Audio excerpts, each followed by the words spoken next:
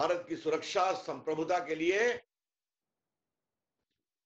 जनता के डिजिटल सुरक्षा के लिए, जनता के डेटा की सुरक्षा के लिए, पब्लिक ऑर्डर के लिए हम लोगों ने उनसठ ऐप को बैन किया है।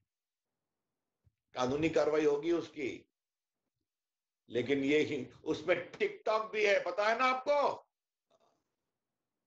भारत की जनता की निजता के ऊपर, भारत की जनता की डेटा की चोरी के ऊपर, भारत की जनता के डेटा को भारत से बाहर भेजने के किसी कार्रवाई पर हम बहुत सख्त हैं।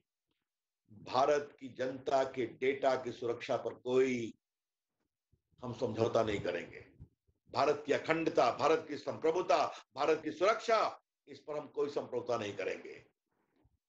तो आज मैं बंगाल में कहूँगा कि भारत अपनी सीमा पर आँख में आकर बात करना भी जानता है और भारत के लोगों की सुरक्षा के लिए भारत डिजिटल स्ट्राइक करना भी जानता है। यह है भारत का संकल्प और साहस, यह हमें समझना चाहिए।